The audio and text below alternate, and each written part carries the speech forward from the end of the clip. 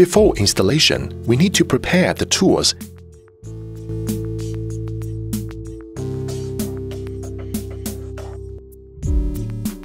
The operating environment is so important that it will influence the lifespan of SPH. So please don't expose the SPH to the environment of sunshine, rain and snow. In order to ensure the machine can run normally and easy to operate, please provide adequate space for SPH.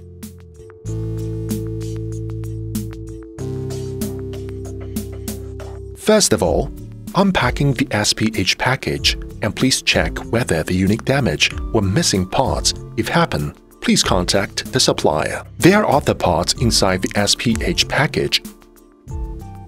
There are some connection terminals including PV switch, PV connection terminals, EPS output connection port, emergency power supply, AC grid connection port, antenna, USB for local FAW update, RS-232 Wi-Fi for communication accessories, DIP for safety standard of different countries, dry contact, battery connection terminals, and communication terminals including CT port, DRMS communication port only for Australia and New Zealand market, 4852 port to connect the third-party lithium battery, 4851 port to communicate with a smart meter, NTC port for lead-acid battery temperature sensor, CAN port to communicate with Growatt lithium battery.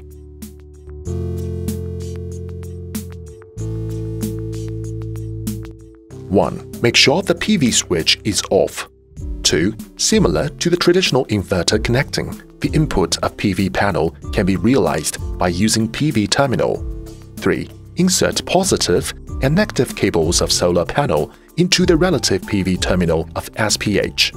Limit maximum PV voltage 550 volts, maximum PV input current 12 ampere, max PV input power per string 4000 watts. Note: We suggest you use the cable which is greater than 4 square millimeters, 12 AWG to connect.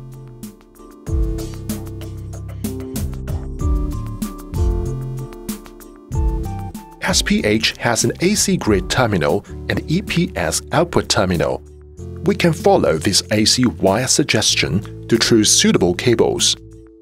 First of all, please confirm the L, N, PE port of the connection terminal and thread cables through pressure screw, seal ring, threaded sleeve in sequence. Insert cables into connection terminal according to polarities indicated on it and tighten the screws.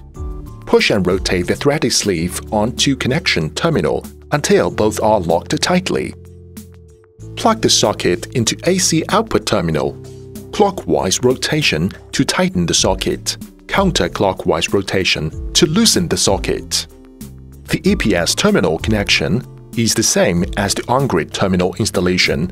Tight the threaded sleeve into the off-grid connection terminal and plug the socket into EPS outlet terminal. Caution!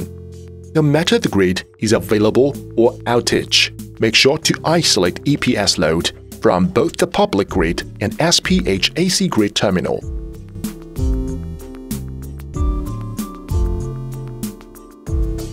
Dismantle the waterproof cover. Thread cables through pressure screw, seal ring, threaded sleeve, waterproof cover.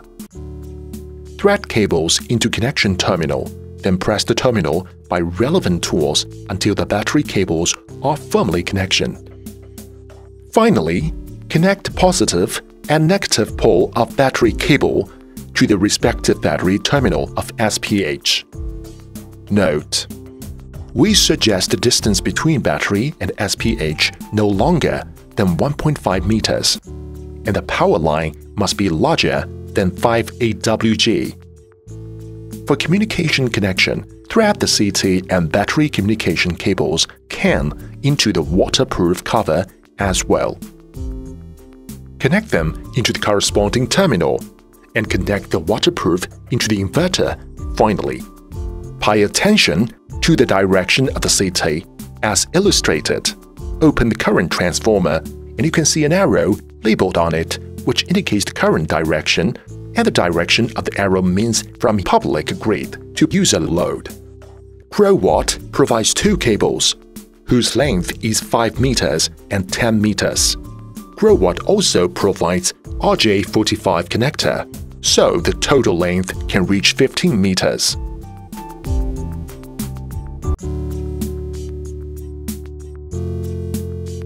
If the length is longer than 15 meters, it's better to choose the smart meter. Firstly, connect the port 1 to the L line of grid, port 3 to the N line of grid, port 2 to L line of SPH, and port 4 to N line of SPH. Secondly, connect the lane line pin 5 white blue to port 5 RS485A of the smart meter and lane line pin 1 white orange to port 6 RS485B of the smart meter. Thirdly, connect the other side of landline to port 4851 of the SPH. Note, the telephone sign presents in the smart meter means the communication is successful.